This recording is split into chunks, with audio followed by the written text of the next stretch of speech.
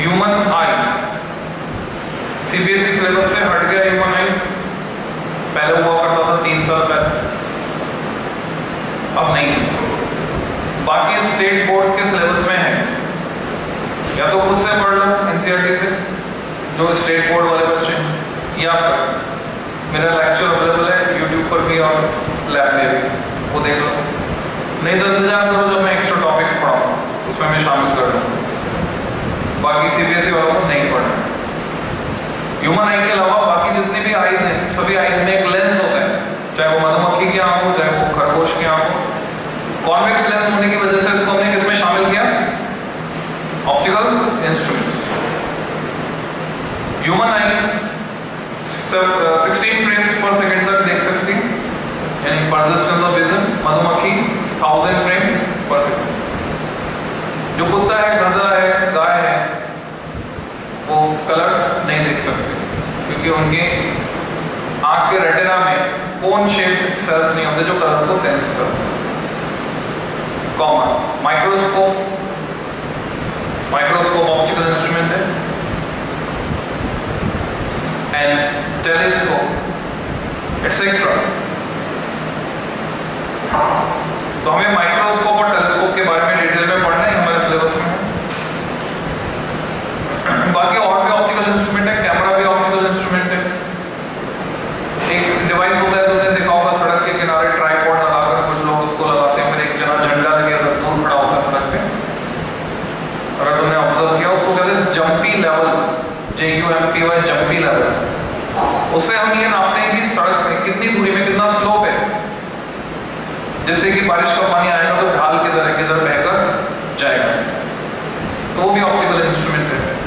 जो तुमने पेरिस्कोप पढ़ा या बचपन में खेलो हो कैलिडोस्कोप से सभी ऑप्टिकल इंस्ट्रूमेंट है, जिसमें मिरर यूज़ हो जाएगा लेंस या फिर प्रिज्म यूज़ हो जाएगा, उसको बोलेंगे optical instrument subheading simple microscope first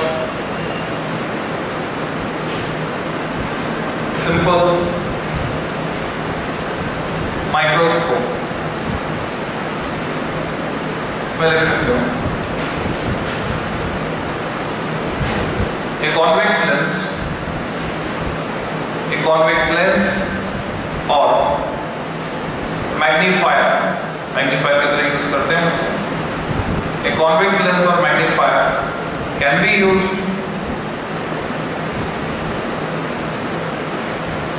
as simple microscope उसी को कहते हैं actually can be used as simple microscope in following two configurations in following TWO2 configurations. कर रहा हूँ दो कॉन्फ़िगरेशन में हम इसको यूज़ कर सकते हैं। कौन कौन से दो कॉन्फ़िगरेशन को अभी सीखोगे? हर ऑप्टिकल इंस्ट्रूमेंट को इवन ह्यूमन आई को हम दो कॉन्फ़िगरेशन में यूज़ करते हैं। पास की चीज़ों को देखने के लिए और दूर की चीज़ों। या ज़्यादा सही है ये बोलना फाइनल इमेज पास बने least distance of region human eye के लिए कुछ टर्मिनोलॉजी तुम्हें पता होनी चाहिए नियर पॉइंट 25 सेंटीमीटर पर। इसको हम दिखाते हैं 25 सेंटीमीटर डिस्टेंस को कैपिटल डी से, और इसको कहते हैं दूर देखने की न्यूनतम दूरी। बचपन से तुम्हें सिखाते आते हैं किताब को इतना दूर रख के पढ़ो उसमें मत चले जाओ। बिकॉज़ हमारी आईज फोकस नहीं कर पाते। तो वो दूरी जिससे पास में हम फोकस नहीं कर पाएँगे उसको बोलेंगे लीस्ट डिस्टेंस डिस्टिंग रीजन 25 साल की उम्र में ये दूरी नॉर्मल ह्यूमन आई के लिए 25 सेंटीमीटर होगी हाँ। किसी की आदत पड़ जाए बचपन में झुककर किताबें पढ़ने की तो डिस्टोर्शन आ जाता है। तो डिस्टोर्शन बोलेंगे तो बुरा मान जाएगा तो हम बोलेंगे स्पेशल एबिलिटी उसकी आँख में आ जाती है कि 10 सेंटीमीटर पर भी फोकस कर देता हूँ। कुछ बच्चों के साथ ऐसा होता है। क्योंकि वो शुरू से उनकी आदत पड़ गई तो उनकी आइज़ अकॉर्डिंगली अकोमोडेट कर लेते हैं। पर इसके लिए इसको बोलेंगे नियर पॉइंट एडजस्टमेंट पास में फोकस कर लें। तो हमारी सेलरी मसल्स जो है, उसको लेंस को दबाती जिससे कि उसका कर्वेचर कम होता है कि बढ़ता है। क्या बोलोगे? कर्वेचर बढ़ेगा। रेडियस ऑफ़ कर्वेचर कम होगी तो लेंस की फोकल लेंथ कम हुई क्योंकि हमारा जो आँख है, आँख में जो आई बॉल है, उसका साइज़ ढाई सेंटीमीटर डायमीटर 2.5 सेंटीमीटर तो लेंस आगे है रेटिना पीछे है। लेंस को रेटिना पर फोकस करना है तो कितनी दूर फोकस करना है 2.5 सेंटीमीटर तो v इज़ फिक्स्ड इमेज कहाँ बननी है v इक्वल टू 2.5 सेंटीमीटर अब ऑब्जेक्ट अगर पास में है या दूर है अकॉर्डिंगली u चेंज होगा u चेंज होगा तो f को चेंज करना पड़ेगा f को चेंज करने के लिए जिम्मेदार है सेलरी मसल्स तो फाइनल इमेज अगर बनती है नियर पॉइंट पर उसकी मदद से रेटिना पर बनती है इमेज तो डिफरेंट कॉन्टेक्स्ट में बात कर। रहा हूँ अगर फाइनल इमेज हम 25 सेंटीमीटर दूर फोकस करते हैं तो बोलते हैं near point adjustment maximum magnified image होती है, इस समय आइज़ पर स्ट्रेन आता है तो बोलते हैं फॉर स्ट्रेन है। अगर हम इन्फिनिटी के ऑब्जेक्ट्स को देख रहे होते हैं इन्फिनिटी पर फोकस्ड होते हैं फार पॉइंट एडजस्टमेंट या नॉर्मल एडजस्टमेंट उसको कहते हैं, इस समय आइज़ पर कोई स्ट्रेन नहीं आता तो दो एडजस्टमेंट पॉसिबल है दोनों को हमें पढ़ना है। सिंपल माइक्रोस्कोप बनाने का एक सिंपल मेथड है। किसी भी शीशी का ढक्कन लो, जैसे रूअफ़ज़ा की शीशी का एल्यूमिनियम का ढक्कन, उसमें रिफिल से छेद करो रिफिल के नॉक नॉक से आगे से। अब इस छेद में पानी की बूंद छोड़ दो। पानी की बूंद जो शेप ले लेगी वो लेंस जैसा शेप होगा। तुम चाहो तो ग्लिसरीन में छोड़ सकते हो। सरफेस टेंशन के कारण वो उसी में अटक जाएगी। निकलेगी नहीं वहाँ से। अब तुम उसको छोटे अक्षर पर अगर रखो ले जाकर दवाई के शीशों में जो छोटे अक्षर लिखे होते हैं। तो उस लेंस के थ्रू यानी वो जो पानी की बूंद है, उसके थ्रू देखोगे तो बहुत बड़ा दिखेगा। मैग्नीफाइड तो क्या बन गया? सिंपल माइक्रोस्कोप हम पढ़ेंगे दो एडजस्टमेंट कौन से हैं। First, a, near point adjustment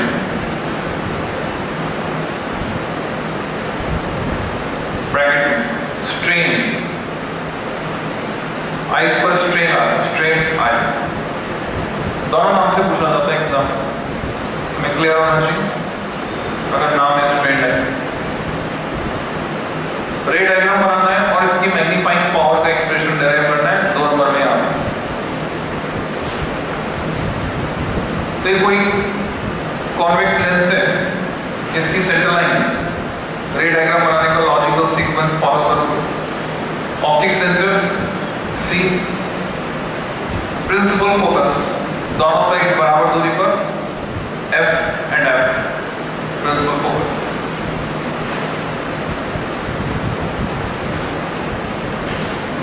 मैं ऑब्जेक्ट को इस तरह से पोजिशन करूँगा ऑब्जेक्ट को इस तरह से रखूँगा कि इसकी जो इमेज है ऑब्जेक्ट की इमेज कहाँ पर बने? नियर पॉइंट पर. 25 सेंटीमीटर दूर पर. आँख के लिए अजम्पशन है, जो ऑब्जर्वर है, उसकी आई इस लेंस से अटैच है, सटी हुई, बिल्कुल लेंस की पोजीशन पर ही आँख को मानेंगे। तो ऑब्जेक्ट को मैंने यहाँ इस तरह से पोजीशन किया, इस तरह से रखा। ऑब्जेक्ट को भी एक रे जो पैरेलल टू प्रिंसिपल एक्सिस जा रही आफ्टर रिफ्रैक्शन फोकस से पास होगी दूसरी जो ऑप्टिक सेंटर से जा रही है अनडिवाइडेड स्ट्रेट चल जाएगी, इधर तो डाइवर्ज होगी। अगर मैं इनको पीछे की तरफ़ बढ़ाता हूँ डॉटेड लाइन से तो जहाँ पर ये मिलती हुई लगेगी, वास्तव में नहीं मिलेगी, मिलती हुई लगेंगी, वहाँ पर मैग्निफाइड इमेज बनेगी। Image I M of height H dash object की हाइट एच हमारी कोशिश ये होती है कि हम ओबी की पोजीशन सी और एफ़ के बीच में इस तरह से एडजस्ट करें। ये जो डिस्टेंस है आईसी यानी इमेज डिस्टेंस ये किसके बराबर आ जाए कैपिटल डी जिसे हम 25 सेंटीमीटर कहते हैं। नियर पॉइंट पर विद रिस्पेक्ट टू लेंस और विद रिस्पेक्ट टू आई क्योंकि eye is attach to the lens उसके अलावा और जो डिस्टेंस अगर मैं मार्क करता हूँ ऑब्जेक्ट की डिस्टेंस यू ये वाला फोकस काम आ रहा है focal length F diagram complete हो गया.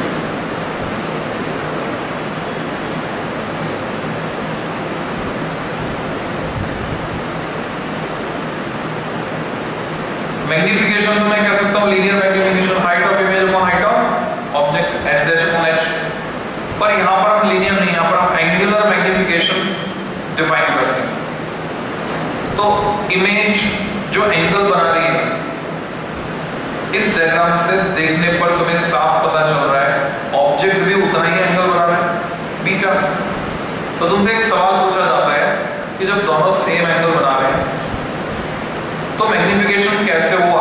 मैग्निफिकेशन तो हुआ नहीं। एंगल से मैग्निफिकेशन कैसे मैटर करता है? हम जब किसी ऑब्जेक्ट को देख रहे हैं ऑब्जेक्ट हमारी आँख पर जो एंगल सब्टेंड करता है उसके हिसाब से वो बड़ा या छोटा दिखता है जब ऑब्जेक्ट पास होता है बड़ा एंगल बनेगा तो ऑब्जेक्ट बड़ा दिखेगा ऑब्जेक्ट दूर होगा सेम ऑब्जेक्ट दूर होगा छोटा एंगल बनेगा छोटा एंगल बनेगा तो वो छोटा दिखेगा यही कारण है कि तुमने पेन पकड़ा हुआ है पीछे कुतुब मीनार है कुतुब मीनार बहुत दूर है तो उसका साइज़ पेन के बराबर हो जाएगा क्योंकि वो दूर होने की वजह से छोटा एंगल और ये पास होने की वजह से बड़ा एंगल तो उस लॉजिक को अगर हम फॉलो करें तो यहाँ एंगल सेम बन रहा है। तो उनसे पूछा जाता है कि लेंस मैग्नीफाई कैसे कर? रहे हैं तो हमारा जवाब होता है इसके रेफरेंस में कि लेंस मैग्नीफाई नहीं करता। कंसेप्चुअल क्वेश्चन है। तो लेंस मैग्नीफाई नहीं करता, बस लेंस हमें ये सुविधा देता है फैसिलिटेट ये वर्ड यूज़ करते हैं ये सुविधा देता है कि हम ऑब्जेक्ट को पास में रखकर देख पाए जिससे कि ऑब्जेक्ट हमारी आँख पर बड़ा एंगल सब्टेन कर पाए अगर मैं लेंस हटाकर इस ऑब्जेक्ट को देखने की कोशिश करूँ तो इतनी पास में मैं फोकस नहीं कर पाऊँगा। मुझे उसको कम से कम कितना दूर रखना पड़ेगा? 25 सेंटीमीटर अगर मैं इस ऑब्जेक्ट को 25 सेंटीमीटर पर रखकर देखूँगा बिना लेंस की मदद के तो ऑब्जेक्ट आँख पर जो एंगल सब्टेंड करेगा definitely it will be smaller that is alpha बिना लेंस की मदद के मैं पास रख के नहीं देख सकता, दूर रख के देखना पड़ेगा। लेंस अगर यूज़ कर रहा हूँ तो पास रख के देख पा रहा हूँ। एंगल बड़ा बना रहा है, पर उस पर फोकस भी कर पा रहा हूँ क्योंकि उसकी इमेज कहाँ बन रही है? पच्चीस सेकंड तो प्रॉब्लम सॉल्व होगी। इस सेंस में लेंस मैग्नीफाई कर देता तो हम इसके लिए डिफाइन करेंगे। सब एंगुलर मैग्निफिकेशन और मैग्नीफाइंग पावर दोनों इसी के। एंगुलर मैग्निफिकेशन और मैग्नीफाइंग पावर इसकी डेफिनेशन लिखेंगे एंगुलर मैग्निफिकेशन और मैग्नीफाइंग पावर डैश लगा देखोगे। It is defined as, it is defined as the ratio of the angle ratio of the angle subtended. By the image. Subtended by the image. At the eye to that. Subtended to that. Subtended by the object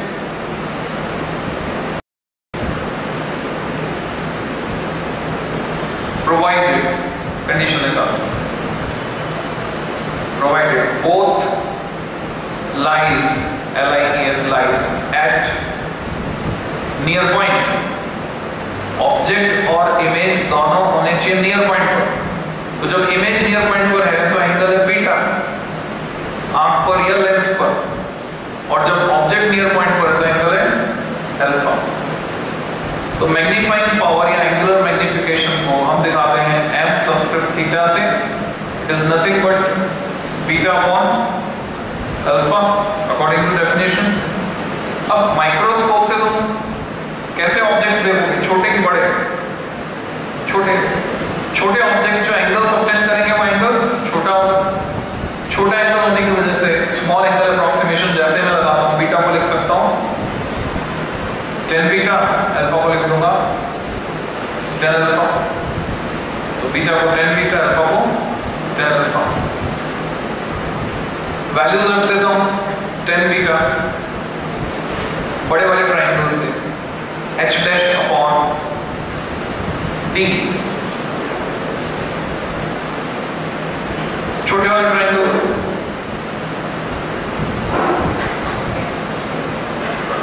This is h h upon d U नहीं।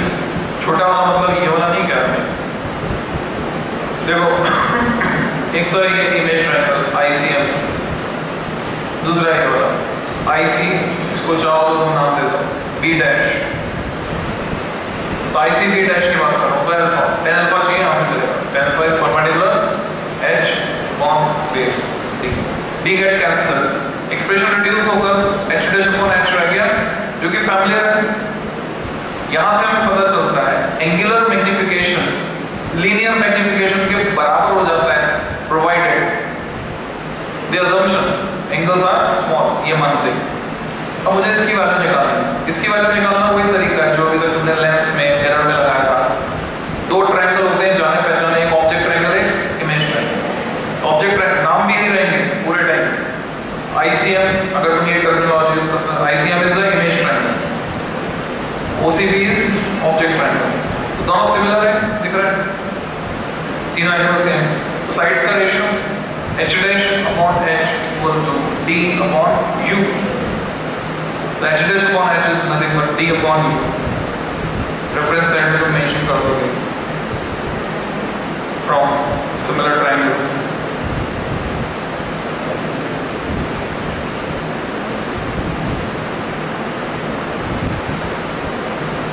ICM and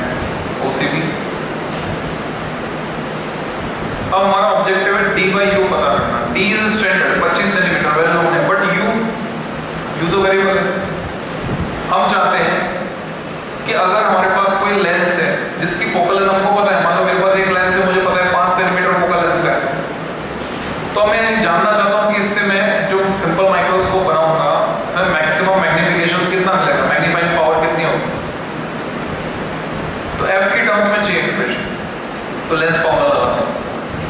Now, applying lens formula.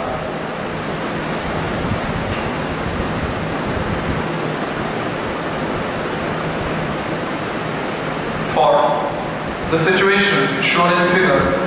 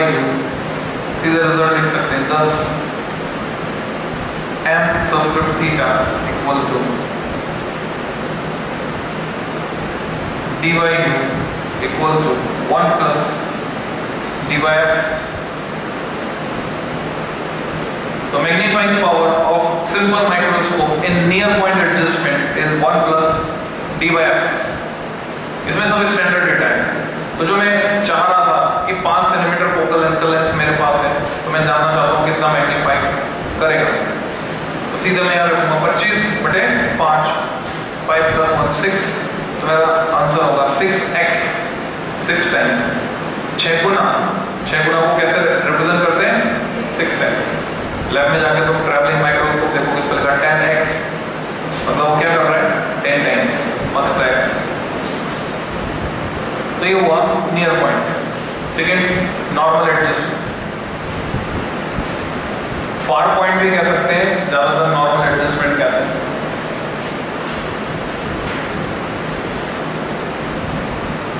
Eyes relax रहती है। Relax है। जब तुम तारे देख रहे हो या बाहर की सीनरी देख रहे हो आँखों को कोई थकान महसूस नहीं होती, क्योंकि सिलरी मसल्स को कोई वर्क नहीं करना पड़ता। लेंस अपनी नॉर्मल पोजिशन में रहता है।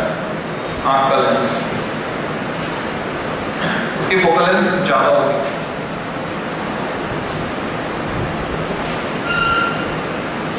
फाइनल इमेज कहाँ बनेगी इन्फिनिटी पर normal adjustment final image infinity पर तो ऑब्जेक्ट को कहाँ रखना होगा? हाँ तो रे डायग्राम अकॉर्डिंगली बन जाएगा। कॉन्वेक्स लेंस इसकी सेंटर लाइन है। Principal axis optic centre logical sequence principal focus F जितनी दूर इधर उतनी दूर इधर ऑब्जेक्ट को रखा हमने फोकस पर। ऑब्जेक्ट ओ बी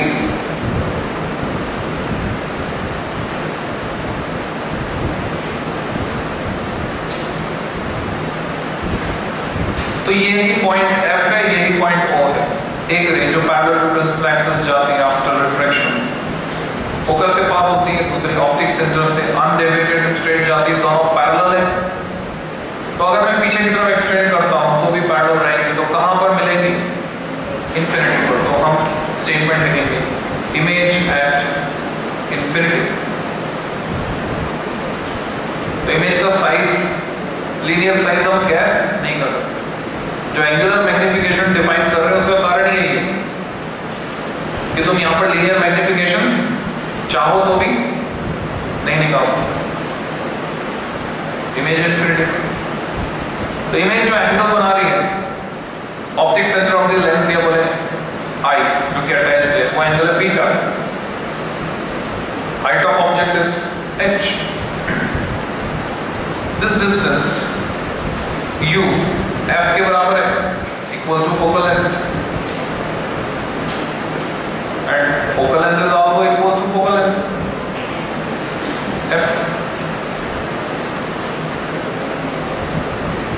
तो अब इस केस में हम मैग्नीफाइंग पावर अगर डिफाइन करें तो डेफिनेशन में थोड़ा सा चेंज हो जाता है। बीटा में देख रहा है अल्फ़ा नहीं देख रहा। है alpha check again it is ratio of angle subtended by image to the angle subtended by object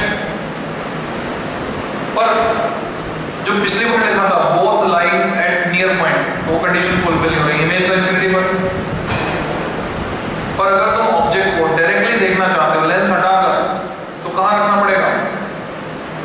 near point lens हटाकर देखना चाहते हो तो नियर पॉइंट 25 सेंटीमीटर दूर रखना। तो अगर तुमने ऑब्जेक्ट को 25 सेंटीमीटर दूर रखा लेंस हटा दिया डायरेक्ट देख रहे हो तो ऑब्जेक्ट जो एंगल बना रहे हैं आप पर, उसको बोलेंगे alpha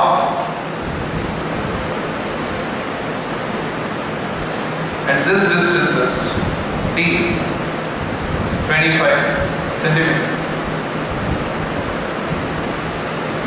तो इसके सपोर्ट में ये डायग्राम और चाहिए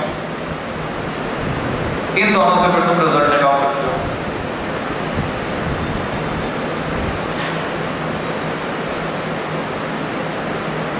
मैग्नीफाइंग पावर की डेफिनेशन बार बार लिखने की ज़रूरत नहीं है।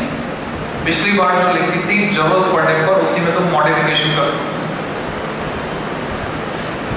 या फिर तुम पीछे का हिस्सा उड़ा दो तो जनरल डेफिनेशन हो गई It is ratio of angles subtended by the image to that subtended by the object साथ में एक वर्ड जोड़ना पड़ेगा at unaided eye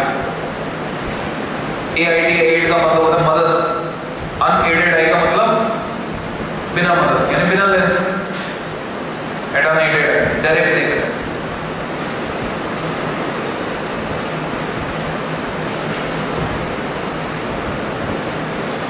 तो मैं यहाँ पर अगर एम थीटा पता करता हूँ तो मैं फिर से लिखूँगा beta upon alpha equivalent angles छोटे हैं tan beta upon tan alpha how much is 10 beta we can get from here h upon f 10 alpha second diagram से h upon d h get cancelled what we get d by f इसको change करने की ज़रूरत ही नहीं है। ये अपने आप में परफेक्ट है। डी भी कॉन्स्टेंट है एफ़ भी कॉन्स्टेंट है। अगर मेरे पास पाँच सेंटीमीटर फोकल लेंस वाला कॉन्वेक्स लेंस है, जिसको मैं सिंपल माइक्रोस्कोप की तरह यूज़ कर रहा हूँ तो उसकी मैग्नीफाइंग पावर हुई 5x इसका मतलब नियर पॉइंट एडजस्टमेंट में मैग्नीफाइंग पावर एक ज़्यादा है। तो ज़्यादा मैग्नीफाइंग पावर इसमें मिलती है, पर इसका ड्रॉबैक है आइस पर स्ट्रेन आता है।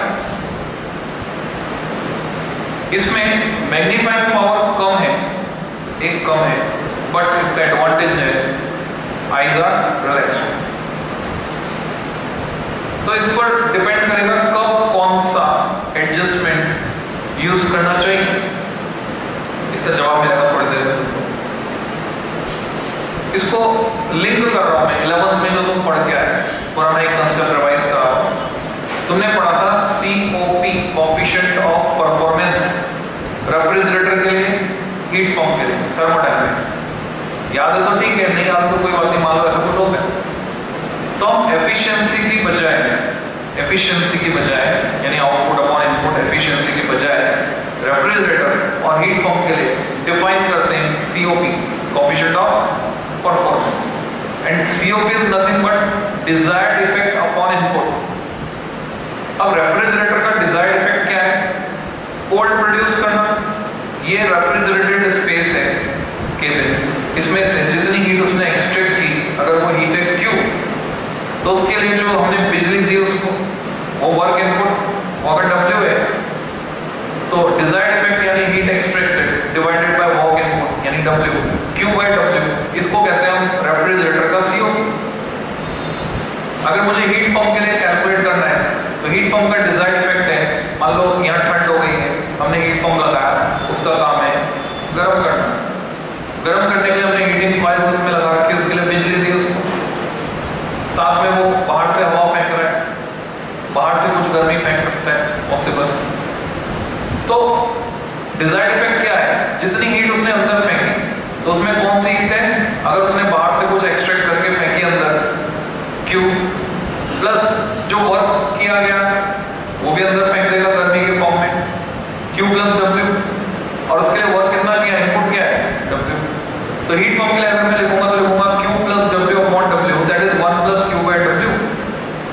हीट पंप का सीओपी रेफ्रिजरेटर के सीओपी से एक चार सिमेट्री मैच हो ठीक है अब हमको ये समझना है कि अगर सिंपल माइक्रोस्कोप है तो मैग्नीफाइंग पावर ज़्यादा से ज़्यादा कितनी बना सकते हैं? इस फॉर्मूले को देखकर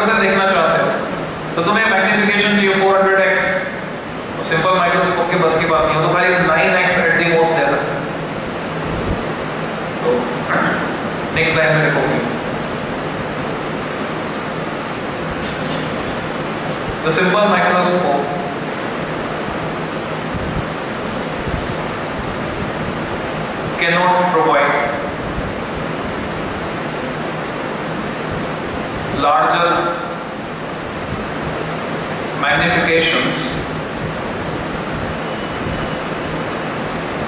because there is a lower limit. Because there is a lower limit. Up to which focal length can be decreased. Up to which focal length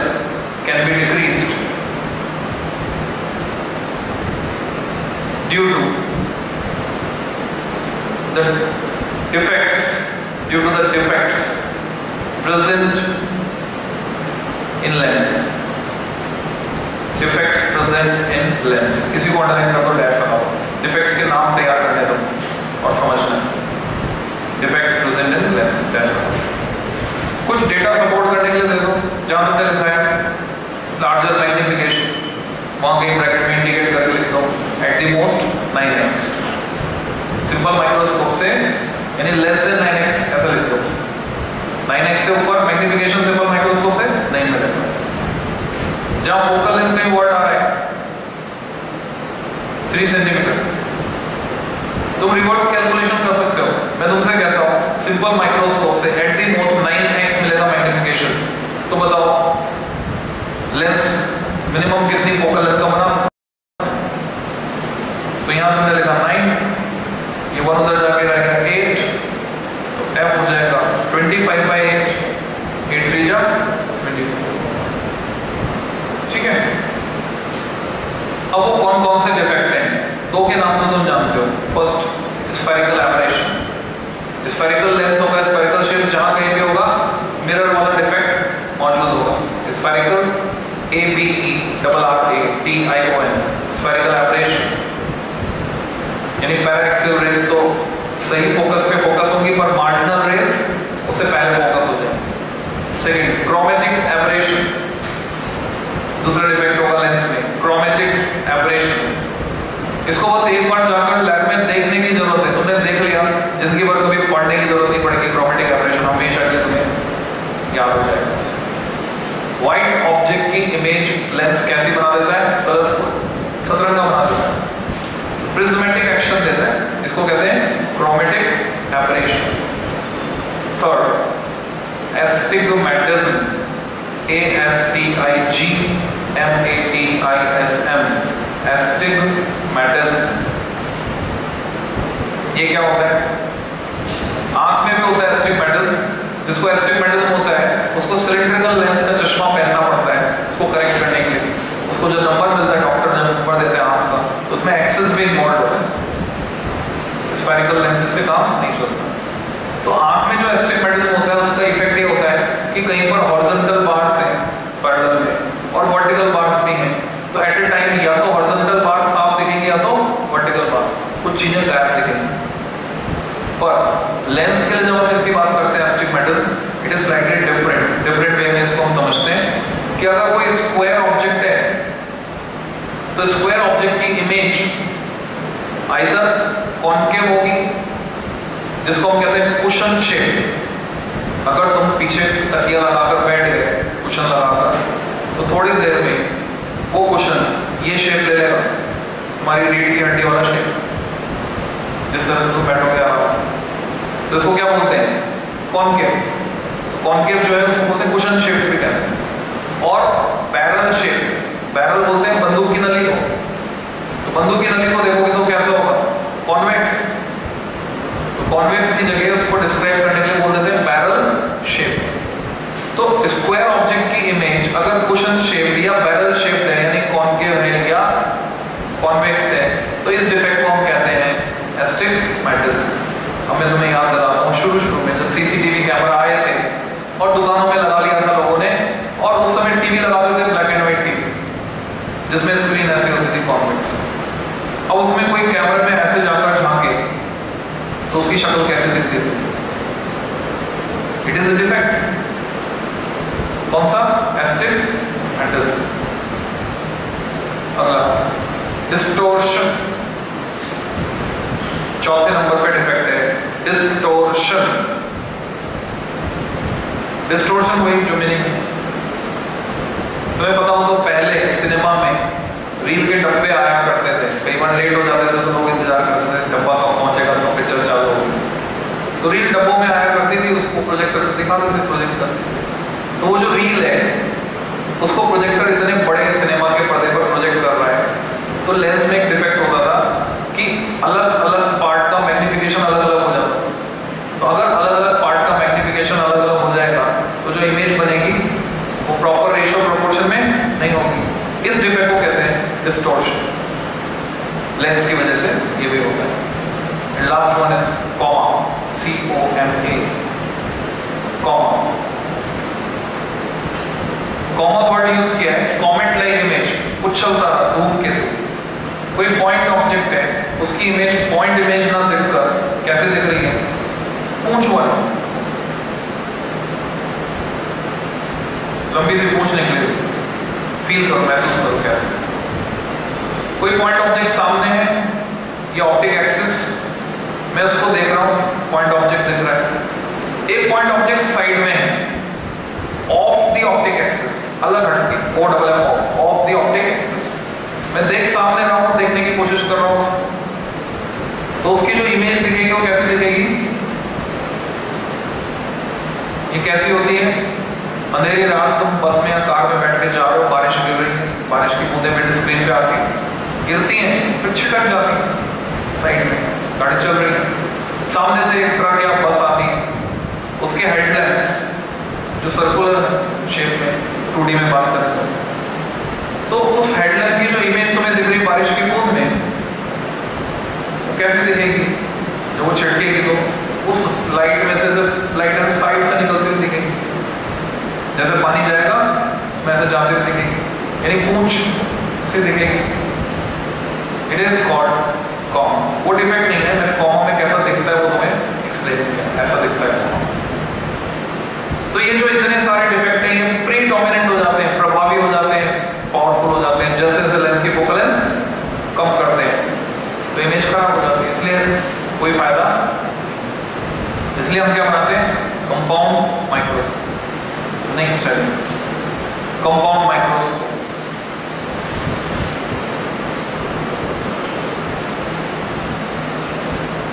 तुम्हें सिंपल वाला ही कंपाउंड माइक्रोस्कोप पढ़ना होगा simple microscope is different compound microscope में सबसे सरल configuration हमको पढ़ना है। दो कॉन्वेक्स लेंस वाला। तो कंपाउंड माइक्रोस्कोप में देखोगे। It consist of two convex lenses arranged at the ends, arranged at the ends ends of coaxial tubes दो coaxial tube होती है एक दूसरे में स्लाइड कर सकती हैं arrange at the ends of coaxial tubes.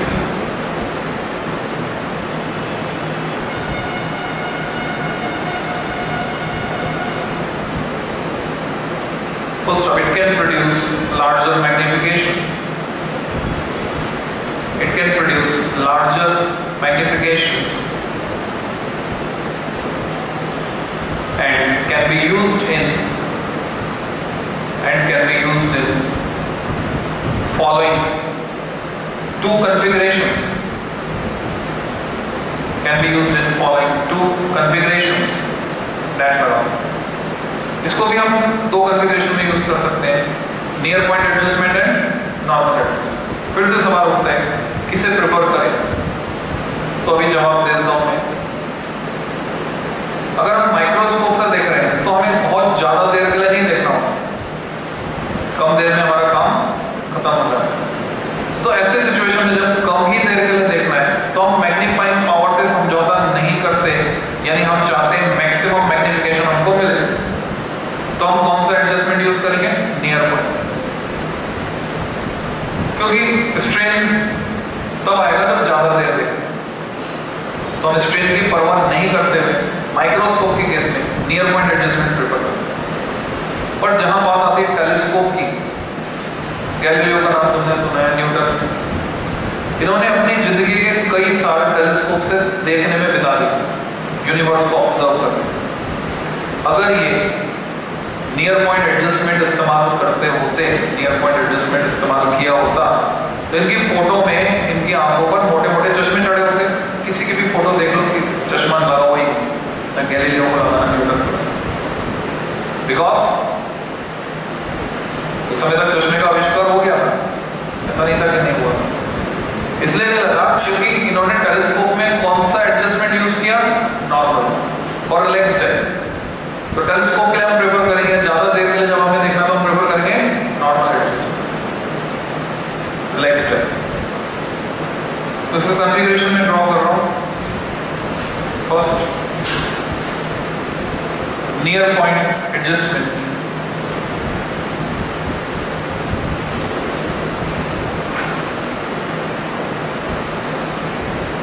for या फॉर नहीं लिखो ब्रैकेट में वैसे लिखो जैसे पहले लिखा near point adjustment in bracket.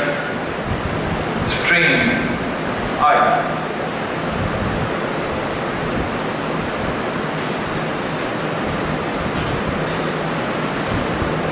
अपने आप को प्रिपेयर कर लो तुम्हें एक बहुत अच्छा डायग्राम बनाना है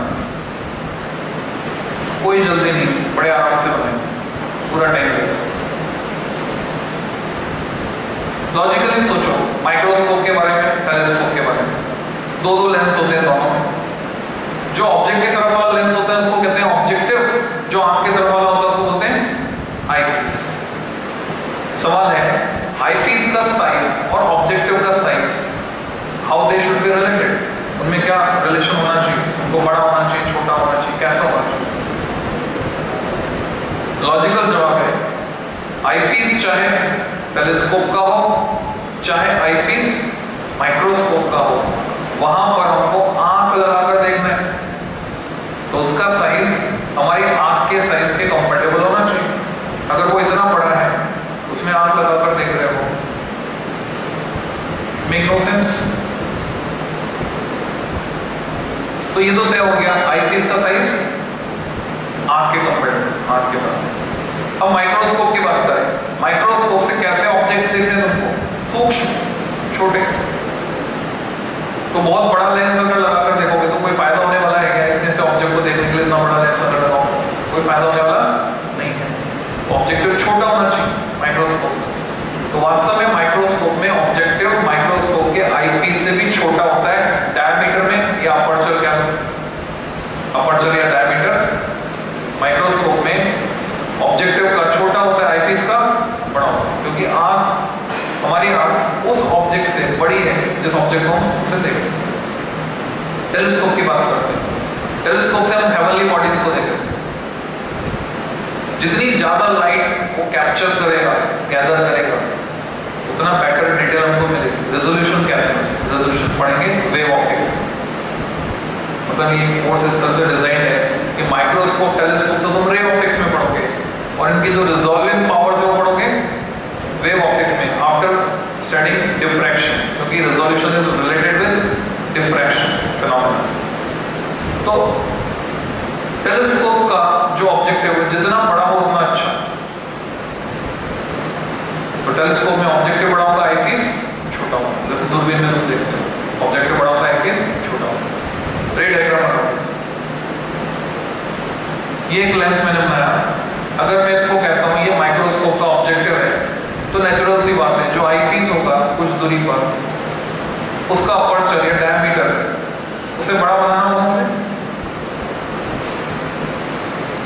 तो ये हुआ ऑब्जेक्टिव स्मॉल ओ से दिखाया, ये हुआ आई पीस ऊपर भी जगह चाहिए, नीचे भी जगह चाहिए।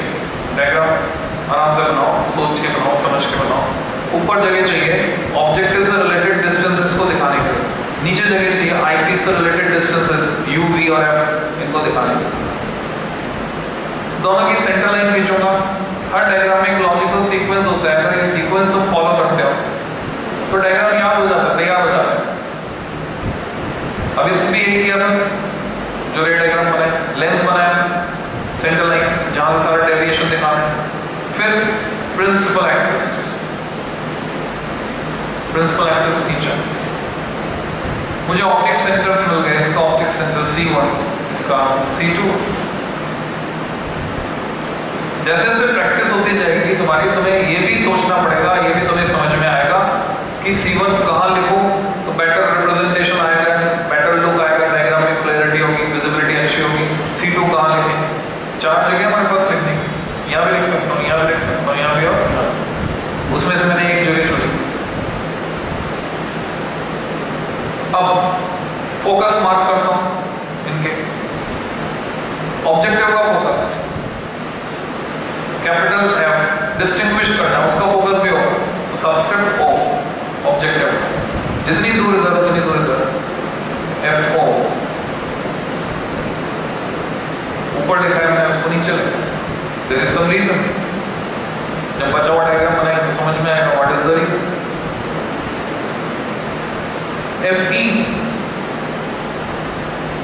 focal length of eyepiece जितना इधर, उतना इधर एफ़ ई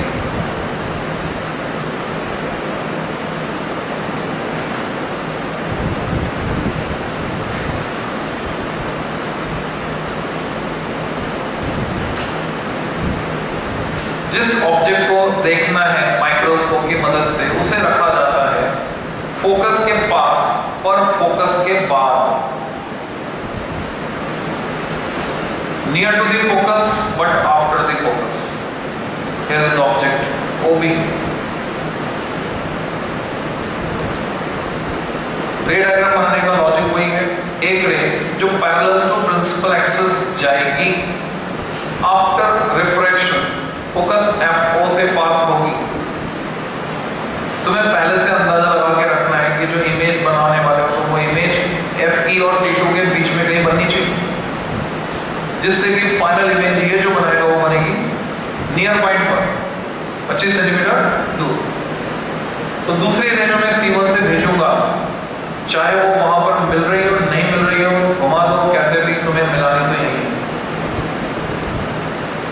और अगली बार डायग्राम बनाओ तो और अच्छे से कोशिश करनी है कि स्ट्रेट में वहाँ आ जाए ऐसी कुछ कोशिश करें रेशो प्रोपोर्शन डायग्राम के इस तरह से एडजस्ट करें। तो जहाँ पर दोनों इंटरसेक्ट कर रही हैं, वहाँ पर रियल इन्वर्टेड इमेज बनेगी। उसका नाम आई एम उसकी हाइट एच डैश ऑब्जेक्ट की हाइट एच अभी तक आईपीस का रोल नहीं आया, ये सारा काम किया ऑब्जेक्ट ने अब आईपीस का रोल आ रहा है आईपीस काम कर रहा है, करेगा मैग्नीफायर की तरह। यहाँ से एक रे फिर से parallel to principal axis eyepiece पे जाएगी। उसको रिफ्लेक्ट करेगा। दूसरी रे ऑप्टिक सेंटर अनडेविएटेड स्ट्रेट हमें दिखाएँगे, उधर तो ये डाइवर्ज हो रही है, पीछे की तरफ़ पढ़ाओगे तो। कहीं मिलती भी लगेगी अब तुम्हें इस बात के लिए परेशान नहीं होना कि ये इस लेंस के पहले मिल रही है या बाद में डजंट मैटर कोई फ़र्क नहीं पड़ता। जहाँ भी मिल रही है, उसकी डिस्टेंस इस लेंस से, तुम्हें 25 सेंटीमीटर लिखनी कैपिटल अजम्पशन ये है कि आँख लेंस से सटी हुई है। This is the final image जिसका नाम हम रखने वाले हैं। I dash M dash H double dash और ये इमेज ऑप्टिक सेंटर पर जो एंगल सबटेंड करे that angle beta angle subtended by image observer इधर से देख रहा है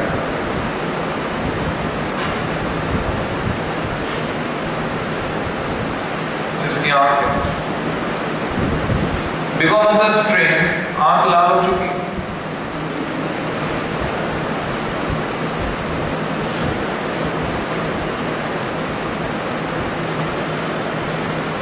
वेरियस डिस्टेंसेस मार्क कर देते हैं। ऑब्जेक्ट की डिस्टेंस ऑब्जेक्टिव यू क्योंकि ऑब्जेक्टिव के लिए सबस्क्रिप्ट को डिस्टिंग्विश करने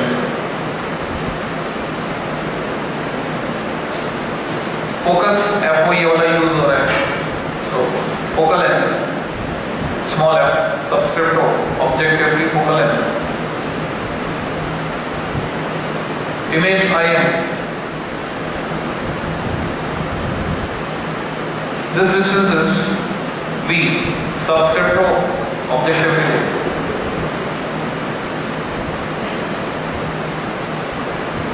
तुम्हें जो मेजर कंफ्यूजन रहेगा वो रहेगा एनसीईआरटी अगर पढ़ोगे length of the microscope tube इसमें तुम कंफ्यूज हो जाओगे अगर एनसीईआरटी पढ़ो वैसे तो साफ़ साफ़ दिख रही है how much is length of microscope tube from eyepiece to the objective L और अगर तुम एनसीईआरटी पढ़ते हो तो घूम जाओगे तुम्हें घूमना हो घूमने का मज़ा होगा एनसीईआरटी पढ़ के देखो क्वेश्चन की लैंग्वेज में भी घुमाया हुआ है फिर आगे जो दिए तो उसको बहुत फील करके देखो। उसका सॉल्यूशन निकालने की कोशिश करो। माइंड का डेवलपमेंट होगा। ऊपर की डिस्टेंसेस मार्क कर दिए नीचे की डिस्टेंस ये इमेज आई पीस के लिए ऑब्जेक्ट की तरह काम कर रही है। So this distance is u subscript e u e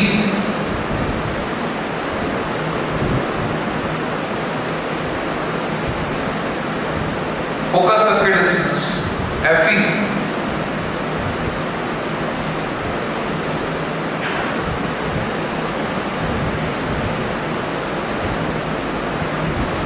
final image की distance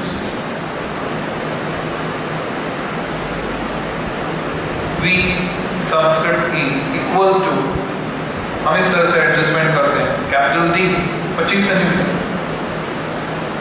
least distance of distinct vision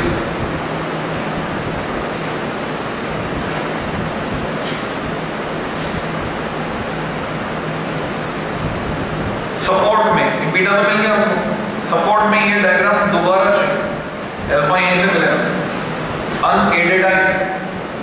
सारा तामझाम हटा दो। ऑब्जेक्ट को डायरेक्टली देखो आँख से। तो ऑब्जेक्ट जो एंगल सबटेंड करेगा आँख पर वो ये है। अल्फ़ा यहीं से मिलेगा। उसके नीचे या साइड में या आगे। ये डायग्राम फिर से बनो। सेम क्योंकि अल्फ़ा यहीं से मिलेगा।